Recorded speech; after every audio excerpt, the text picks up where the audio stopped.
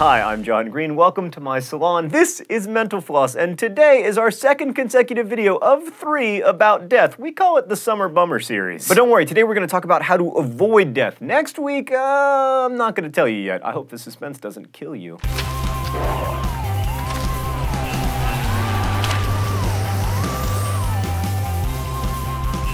So you may remember a few weeks ago in our show about unusual measurements, we discussed the micromort, a unit of risk representing a 1 in 1 million chance of dying. The term micromort was coined in 1968 by Stanford professor Ron Howard, no, not that Ron Howard, that Ron Howard, who despite being born 78 years ago has not yet died, indicating that he knows a thing or two about survival. So today we're going to learn which ill-advised activities are the most ill-advised, but just as a preface, none of this is a recommendation. I am only presenting facts. If you want my advice, it's very straightforward. Eat vegetables, exercise 30 minutes a day, and don't do heroin. All right, first off, I just want to acknowledge that the mere act of being alive is extremely dangerous to one's health. Like being alive for one year, if you're a 59-year-old male, has an overall risk of about 7,000 micromorts, which means you have a 7% total chance of dying. One year of being an 85-year-old male, that'll be 200,000 micromorts, or a 20% chance of dying. But let's say that you're the average viewer of Mental Floss videos. You're 28 years old, about half male, and half female, you're American, and you want to know your five-year overall micromort outlook. Your risk of dying in the next five years is 5,044 micromorts, which means there's a 99.5% chance that you live to be 33, so that's good. You're more likely to die from suicide, 626 micromorts, than from homicide, 525 micromorts,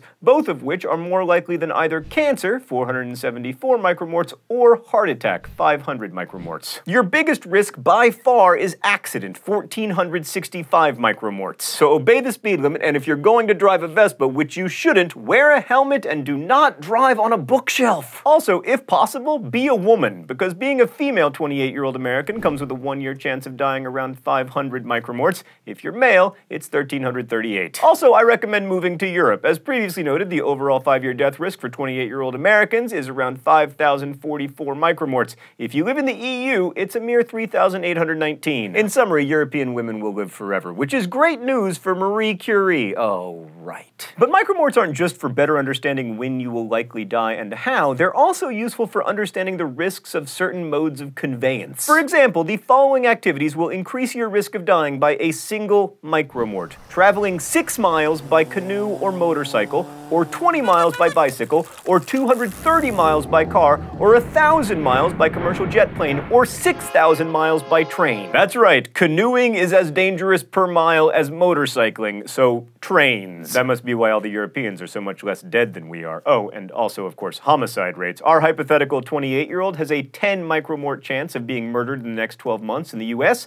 In the European Union, it's 4 micromorts. Micromorts can also be used to calculate cumulative effects, like smoking 1.4 cigarettes is worth a micromort, as is living in New York City's air pollution for two days. Eating 40 tablespoons of peanut butter is a micromort because it contains aflatoxin B, which slightly increases your risk of liver cancer. And eating a thousand bananas is another micromort, as bananas contain a radioactive isotope of potassium, potassium-40. So all those peanut butter and banana sandwiches I eat are micromortastic. But these are all really tiny risks, like ride your bike for 20,000 miles and there's still only a 1 in 1,000 chance you'll die in a bicycle accident. To reach a 1 in 10,000 risk of banana-induced cancer, you'd need to eat two bananas a day, every day, for 137 years. But some things are a bit riskier, like attempting to summit Alaska's Mount Denali, 3,080 micromorts. Everest, a stunning 10,000 micromorts. On the other hand, landing on the freaking moon, zero micromorts so far. Every hang gliding trip you take is 8 micromorts, every skydive is 7, a single pill of ecstasy is 1 micromort, a day of heroin use is 30. The chance of not waking up from general anesthesia, around 5 micromorts, the same as going on a scuba diving trip. A day of skiing or horse riding is somewhat safer at 0.5 micromorts each, whereas giving birth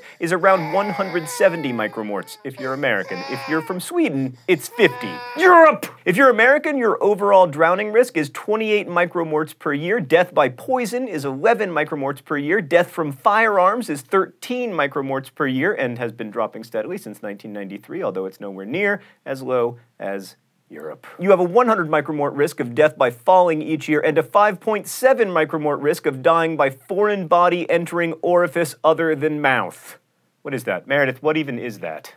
Micromorts can also tell us about extremely tiny risks. For instance, that a human is more likely to die from being struck by falling airplane, 0.06 micromorts, than to die in a hurricane, 0.04 micromorts. Although obviously that risk is different if you live in like a hurricane-ish place or directly underneath an airport, which is why I don't do either. So I can definitely say that I will never die from falling airplane. That was poor, not good also bad. And lastly, are you really more likely to be struck by lightning than you are to be killed by a shark? Yes. Your annual death by lightning risk is around 0.02 micromorts. Death by shark attack is more than 10 times less likely. The combined risk is about the same as going on a single one mile bike ride. Thanks for watching Mental Floss on YouTube, which is made with the help of all of these nice people. Much of the information in today's video came from the Carnegie Mellon University's terrifying slash wonderful death risk rankings website, which can amuse and or paralyze hypochondriacs for hours on end. There's a link in the video info below. Every week we endeavor to answer one of your mind-blowing questions from comments. This week's comes from Darkastic America who asks, was Mr. Ed really a zebra? No, Mr. Ed was not a zebra. He was a horse. That is a copyright trap on the notorious myth-busting website Snopes.com. If you say Mr. Ed was a zebra, Snopes knows that you're stealing from them directly or indirectly. Thanks again for watching and DFTBA.